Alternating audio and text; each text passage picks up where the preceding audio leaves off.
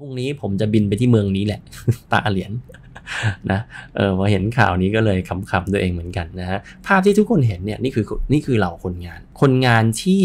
มารวมตัวกัน แล้วก็เรียกร้องอะไรบางอย่างกับนายจ้าง เทรนที่จีนเนี่ยผมบอกได้เลยว่าเพื่อนๆจับตาดูให้ดี ในช่วงอีกไม่กี่ปีข้างหน้าเนี่ยนะมันจะเปลี่ยนไปจีนเนี่ยซึ่งได้ชื่อว่ามีประชากรเยอะมากๆ นะก่อนหน้านี้เนี่ยมีลูกกันเยอะนะทุกคนทราบกันดี baby boomer มีกันชิบเป่งเลยนะพอมีลูกเยอะเกิดอะไรขึ้น มันก็มีคนเยอะไงมีคนเยอะแรงงานมันก็ถูก นะมันก็ไปกดราคงราคาอะไรก็ว่ากันไปนะราคาก็ได้รายงานมาถูกๆ แล้วก็จีนก็เลยผันตัวเองมากลายเป็นคนผลิตของนะฮะของก็ผลิตออกมาแรกๆก็ผลิตแบบโง่ๆหน่อยถูกๆ มันไม่ค่อยมีคุณภาพนะฮะสมัยก่อนนู้นเลยนะสั่งของมา 1 ตู้คอนเทนเนอร์เนี่ยเสียครึ่งใช้ได้ครึ่งก็มีนะฮะแต่ว่าปัจจุบันเนี่ยมันทุกๆ อย่างก็เริ่มเปลี่ยนไปเนาะ skill set ต่างๆนะเพราะว่าเขาประเทศมันลำบากนะว่าปากกัดตีนถีบคนยุคนี้เขาก็ค่อนข้างที่จะก่อร่างสร้างตัว แล้วก็มีความขยันมากกว่าคนยุคเดียวกันกับประเทศอื่นนะเพราะฉะนั้นเนี่ยจีนก็เลยเติบโตอย่างรวดเร็วแล้วก็ได้ชื่อเป็นโรงงานของโลกนะครับแต่เนื่องจากนโยบายการคุมกำเนิดของจีน ไม่ให้มีลูกกันเยอะแยะมากมายแล้วนะฮะคือ 2 ทางแล้ว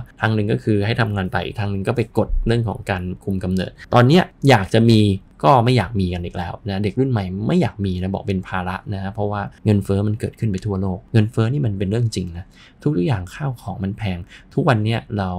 เด็กรุ่นใหม่เนี่ยทีพูดไปก็น่าสงสารนะไม่มีสิทธิ์ที่จะซื้อบ้านเนี่ยเป็นของตัวเอง คือถ้าคุณไม่มีอะไรเลยรากฐานที่พ่อแม่สร้างมาไม่ได้ไม่ได้โอนถ่ายความมั่งคั่งของพ่อแม่มาให้ แล้วคุณก่อร่างสร้างตัวจากศูนย์เนี่ยเหนื่อยเหมือนกันนะถ้าที่จะแบบซื้อที่ของตัวเองซื้อบ้านของตัวเองมีอะไรเป็นของตัวเองแบบอย่างฝั่งฝันอะมันบางทีมันก็มืดมนอยู่เหมือนกันนะที่จีนเนี่ยมันก็แทบไม่ต่างกัน ประชากรก็เยอะด้วยการแข่งขันก็สูงนะครับ แล้วคุณจะไปแข่งอะไรกัน อันนี้คือจุดหนึ่งที่เกิดนะเขาก็เลยคิดว่ามีลูกโคตรเหนื่อยเลยครับอะไรไม่ค่อยอยากจะมีลูกกัน ประเด็นเนี่ย ประเด็นที่อยากจะชูในวันนี้ก็คือว่า average age นะครับ คนงานเหล่านี้ที่เคยก่อร่างสร้างตัว แล้วก็ทำให้ประเทศจีนเนี่ยรุ่งเรืองมาเรื่อยๆ คือคนงานชุดนี้นะครับคนที่มีลูกเยอะๆ แต่ไอคนกลุ่มนี้นะดันมีลูกมากไม่ได้นึกออกไหมคนที่ผลักดันประเทศให้รุ่งเรืองเนี่ยไอคนกลุ่มนี้มีลูกมากไม่ได้ และไอคนกลุ่มนี้แก่ลงเรื่อยๆอ่าแก่ลงเรื่อยๆ แล้วเมื่อคนกลุ่มนี้ไล่ไปถึง 60 ก็มีความเป็นห่วงครับว่า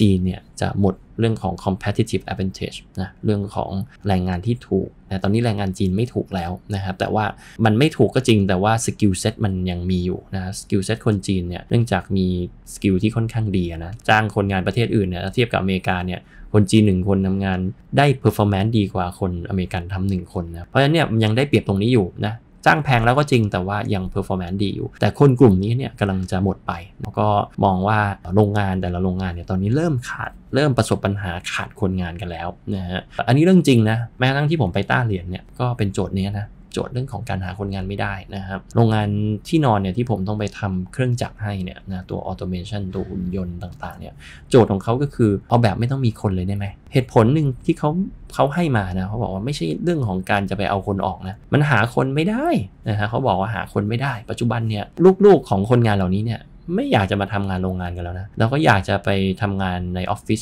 นะเราก็ไปอยู่ในตัวเมืองใหญ่ ๆ ไม่อยากจะอยู่ในตัวชนบทแล้ว เพราะฉะนั้นเนี่ยแรงงานตามชนบท แรงงานตามจุดต่างๆ ที่มีโรงงานเนี่ยหายากเต็มทน นะสุดท้ายเนี่ยก็จะต้องนำพาไปสู่เทรนด์ของการทำ automation นะฮะอันนี้คือสิ่งที่ผมประสบการณ์ผมนะก็เลยเล่าเพิ่มเติมเข้าไปก็ต้องบอกเป็นเรื่องจริงนะฮะดูกันต่อไปครับว่าเทรนด์หลังจากนี้นะจีนจะแก้ยังไง เราจะได้เห็นโรงงานที่เป็น automate มากขึ้นนะฮะเพราะว่ามันหาคนงานไม่ได้จริงๆ แล้วก็ตามข่าว Nikkei Asia เนี่ยบอกว่า advantage นะหรือประโยชน์ของข้อได้เปรียบของประเทศจีนที่เหนือประเทศอื่นเนี่ยกำลังจะหมดไปแล้วนะดูต่อ